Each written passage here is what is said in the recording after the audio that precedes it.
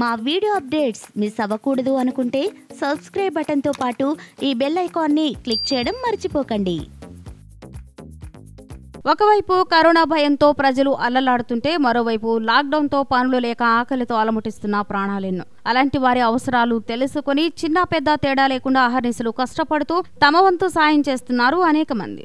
అటువంటిది అమ్మ ఆకలి అంటూ అడిగిన తర్వాత కూడా ఎవరైనా ఊరికే ఉండగలుగుతారా? అర్ధరాత్రి అపరాత్రి అని చూడకుండా ఆకలి అని కాల్ రాగానే వలస కూలీల ఆకలి తీర్చింది మహిళా పోలీస్ అధికారి. ఒకవైపు డాక్టర్లు ప్రత్యక్షంగా కరోనాతో పోరాడుతుంటే మరోవైపు ప్రజలందరూ లాక్డౌన్ నిబంధనలు పాటిస్తూ కరోనా వ్యాప్తి చెందకుండా చూడడంలో పోలీసులు ఎంత తలమునకలై పనిచేస్తున్నారో తెలిసిన విషయమే. ప్రతిరోజులానే ఆ రోజు కూడా డ్యూటీ ముగించుకొని ఇంటికి చేరుకున్నారు విజయనగరం జిల్లా ఎస్పీ రాజకుమార్. రాత్రి పదకొండున్నర గంటలప్పుడు ఫోన్ రింగ్ అయింది. ఆ టైంలో ఏ ఎమర్జెన్సీ అనుకుంటూనో ఫోన్ లిఫ్ట్ చేశారు రాజకుమార్. అమ్మ ఆకలేస్తుంది అంటూ అవతల ఉన్న మహిళ చెప్తూ పోతుంది. ఆవిడ మాటల్లో వాళ్ళు పది మంది చెక్ పోస్ట్ దగ్గర ఉన్నారని అర్థమైంది.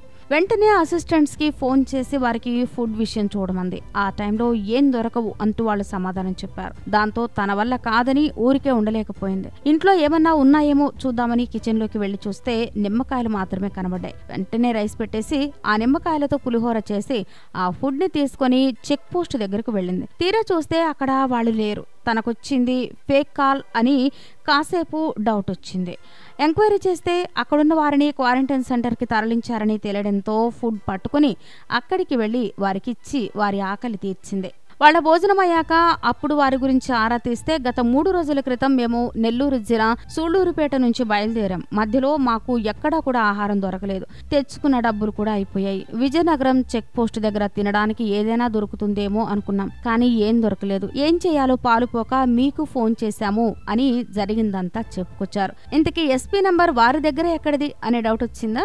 అదే డౌట్తో రాజకుమారి వారిని ప్రశ్నించగా నెల్లూరులో బయలుదేరినప్పుడే ఒక పెద్ద ఆయన మధ్య మధ్యలో వచ్చే చెక్ పోస్టులు పోలీస్ స్టేషన్ నెంబర్లు కలెక్టర్ నెంబర్తో సహా అన్ని నెంబర్లు రాసిచ్చారట.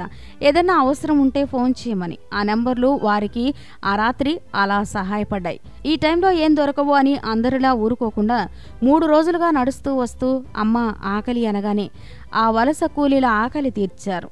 Really hats off madam.